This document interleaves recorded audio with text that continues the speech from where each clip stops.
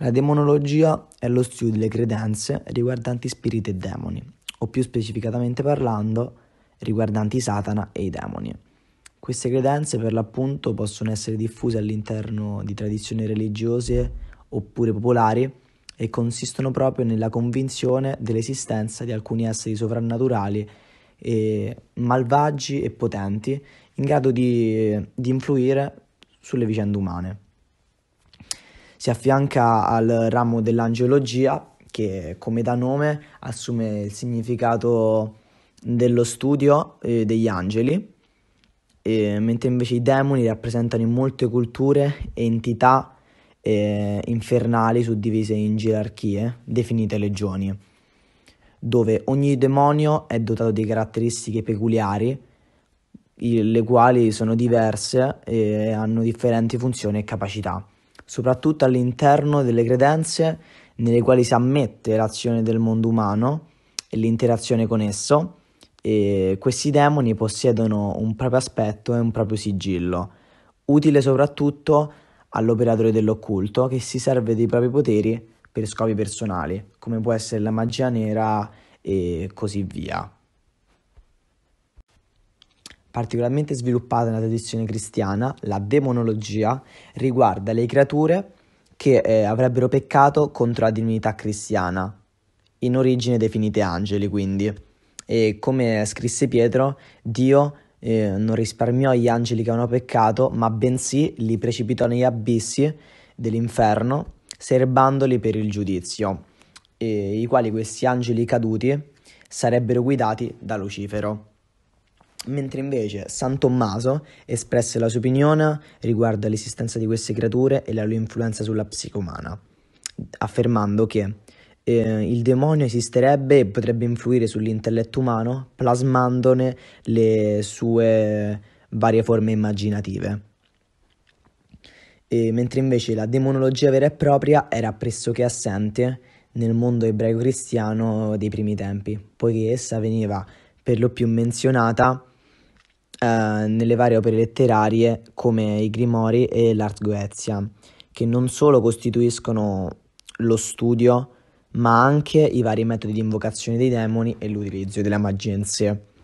E due dei grimori più celebri riguardanti proprio i demoni e la demonologia sono sicuramente quelli della chiave di Salomone e della piccola chiave di Salomone, che si vocifera siano stati scritti da Re Salomone in persona però nonostante ciò ancora oggi vi è un gran dubbio sull'autenticità appunto di questi scritti e, um, che, si, che vengono spesso accostati alla figura del re di Israele. Tuttavia i rabbini scoraggiavano i fedeli dall'uso di queste pratiche occulte della magia nera e della magia in sé, poiché erano pericolose e li incitavano a non cadere in tentazione e a comportarsi bene in modo tale appunto di rimanere sempre nella grazia di Dio e non avvicinarsi mai a Satana o ai demoni in generale, ecco.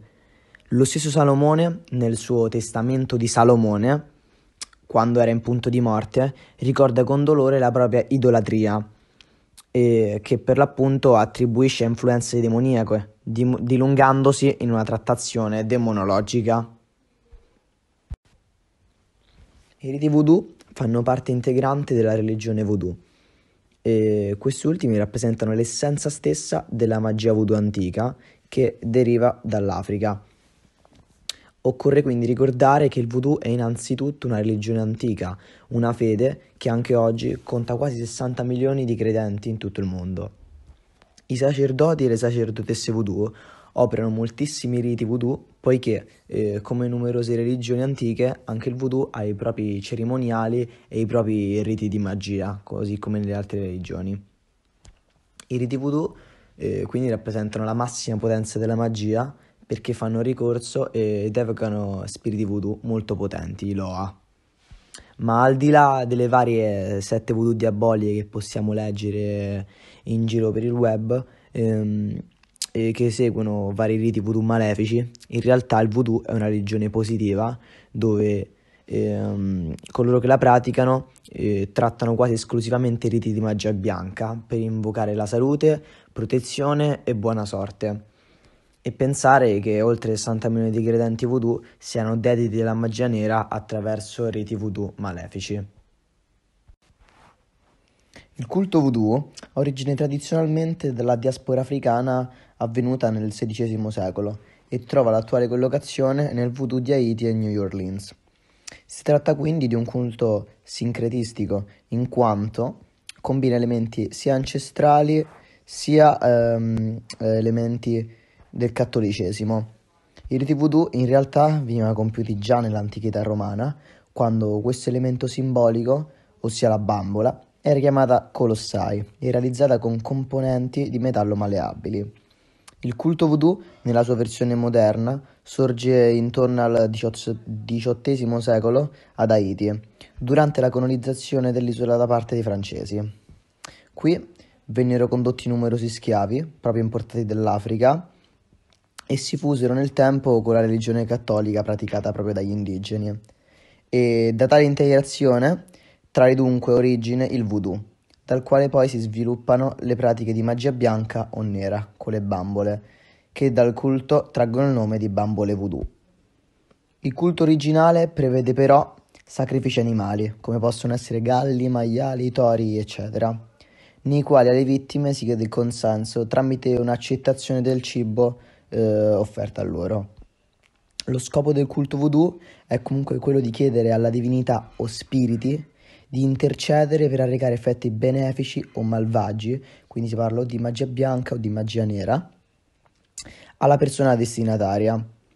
Pertanto le figure determinanti per la pratica del culto sono le divinità voodoo, sia di origine africana, i Loa, eh, affiliate molto spesso alle figure religiose del cristianesimo, come ad esempio i santi. E nessuna magia di per sé è buona o cattiva, infatti la finalità che si intende di conseguire colorerà il rituale magico in un colore eh, che può essere, come abbiamo detto recentemente, una, una, magia cattiva